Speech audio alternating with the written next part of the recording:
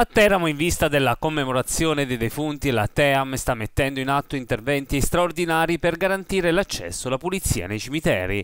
Il cimitero monumentale di Cartecchio è ora completamente fruibile con padiglioni, cappelle e altri spazi riaperti dopo il lungo restauro eseguito per i danni del sisma del 2016. Beh, intanto in occasione della ricorrenza, grazie ad una virtuosa collaborazione e sinergia con TEAM, continuiamo a tenere alto il decoro dei nostri cimiteri, eh, diciamo il cimitero di Cartecchio, quindi eh, di Teramo e i frazionali che ne sono 16, quindi insomma eh, un impegno importante per dare il giusto decoro, valore e attenzione anche a tutti i nostri defunti. Anche i cimiteri delle frazioni sono stati oggetto di pulizie e manutenzioni, incluse operazioni di sfalcio dell'erba. Recentemente è stato approvato il progetto esecutivo da 100.000 euro per la ricostruzione del cimitero di Garrano, frazione di Teramo, al confine con Campi.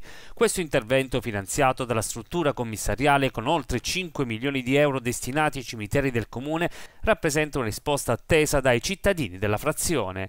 Si tratta di fondi post-sisma che si affiancano agli oltre 1.900.000 euro euro investiti in questi anni dall'amministrazione comunale per la realizzazione di nuovi loculi e altri interventi di riqualificazione degli spazi cimiteriali del territorio comunale.